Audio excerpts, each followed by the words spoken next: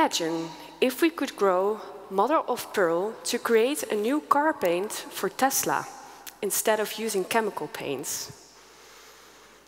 Or what if we could grow pigment-producing bacteria to dye your new bag?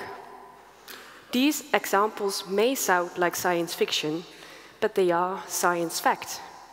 And actually, these are examples of biodesign, the process of integrating living organisms in a design process. So, for example, bacteria, algae, fungi, or any other cells. But these examples are still made in a laboratory. And where do I go to as designer to learn these skills? I don't know. And if we want to grow a sustainable future, we need more biodesigners who literally make this happen, work on these fields, work together with scientists. And as a first year, year product design student at the Willem de Kooning, my curiosity for microorganisms didn't start at university, didn't start in a laboratory, but started in the Boijmans van Beuningen Museum here in Rotterdam. And what do you think of this jacket? Looks soft, shiny, but actually it's made by bacteria. Yes. I was so fascinated by seeing this that we could literally grow something with bacteria that I was determined to grow this at home. So I found out that it, the recipe to make this is actually green tea, sugar, and acetic vinegar. And you need a bacterial culture. Via some YouTube videos, uh, from Suzanne, the designer, um, I found out that these bacteria could spin a nanofiber from pure cellulose. And Suzanne, the designer of the jacket, wrote a book about the future of fashion, and she met a biologist who told her that we could actually grow our garments in vats of liquid. But I had to get hold of a bacterial culture. And actually, with this nutrient solution, you can also make a fermenting tea.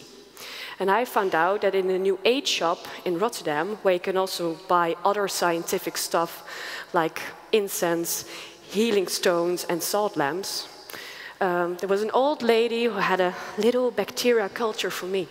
So I took it home, and quickly, according to my friends, my student dorm changed into an acetic biohazard. Because actually the bacteria eat the sugar and produce this nanofiber on the top. This jelly stuff, um, if you dry it down, you get something like a vegetable leather. And actually, I was determined to be Suzanne's intern. I wanted to go to London to be her intern and collaborate with scientists and Actually, I got a little bit disappointed when she told me she was looking for a biology student instead of a product design student. And I had to persist over months, sending letters in order to persuade her. And I succeed, because this is an image of the studio. And during my internship, I met scientists, I've met amazing corporate companies who are willing to integrate these living materials in the production process. And actually, imagine a material which is not woven, but grown in vats like this, where designers, engineers, and scientists work on these new future materials.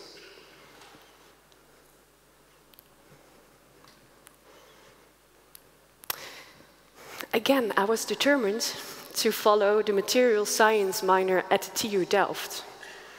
But I got refused. You know why? because my skills of physics and mathematics was quite low.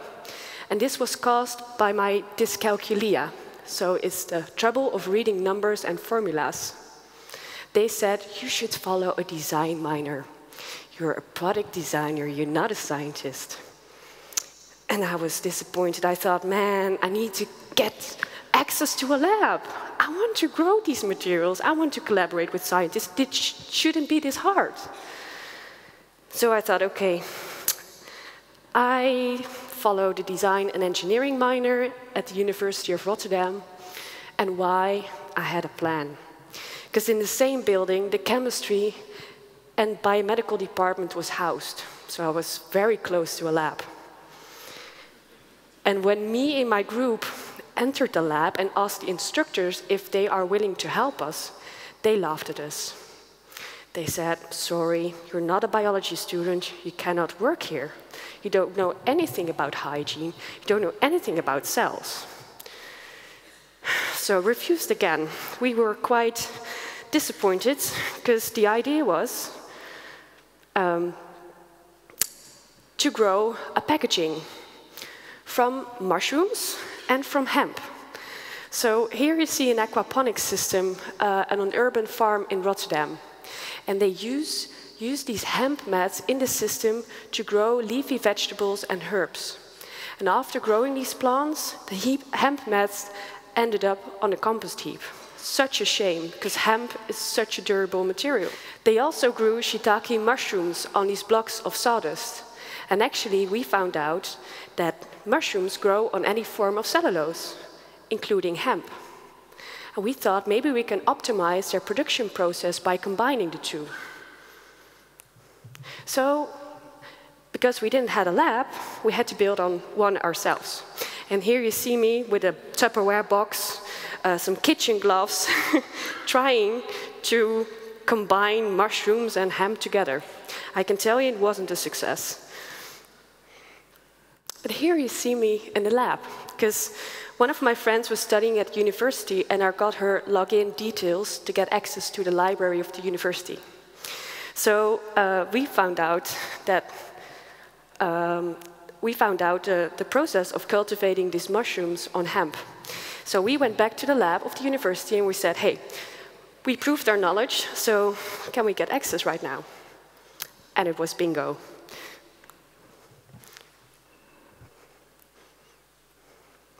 And here you see my old pickled jars, uh, uh, jars for, for, my pickles.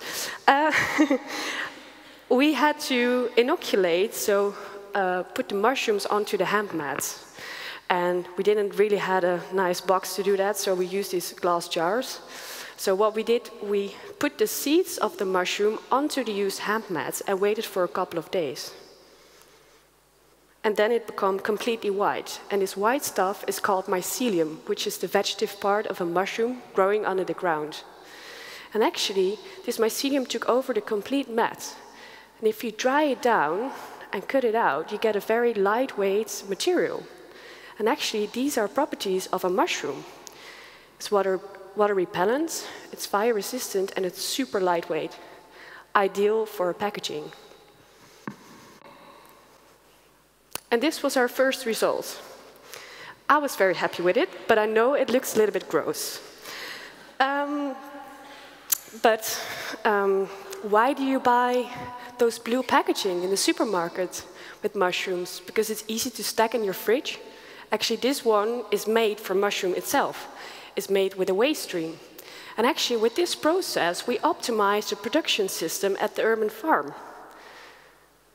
And this was really a kickstart for me to collaborate with scientists and to work in a lab, although it was quite hard.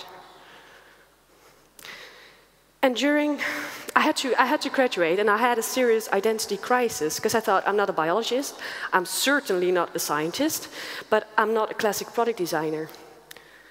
And I was trying to, to find my new role as designer. So I went back to London where I worked next to PhD students at the University of London to see if we could, well, to find my identity.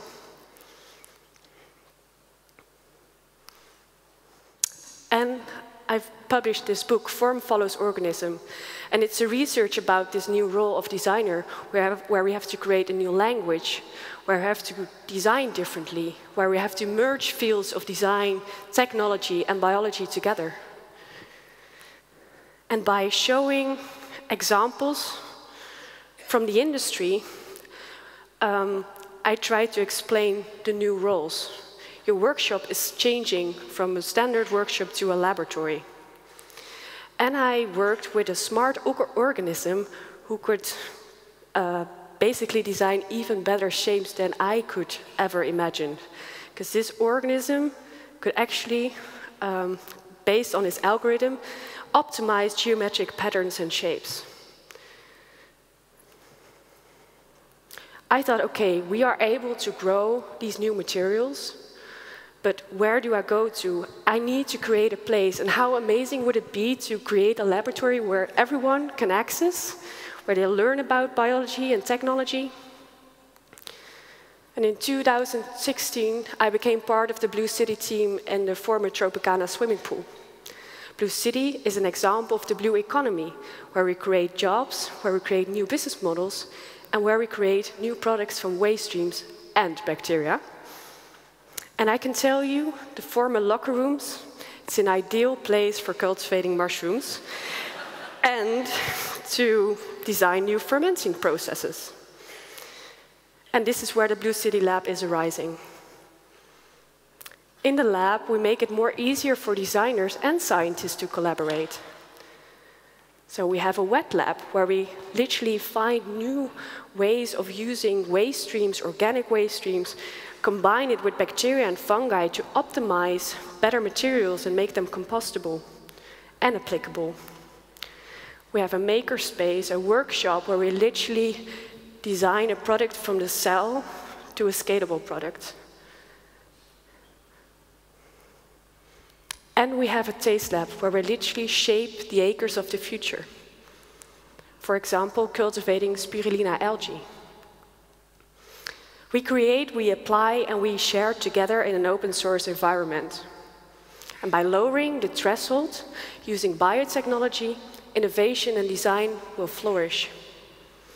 And if we want to create a sustainable future, we not only need to design and grow new materials, not only have to design differently, we have to grow the next generation of biodesigners. Grow the future with us. Thank you.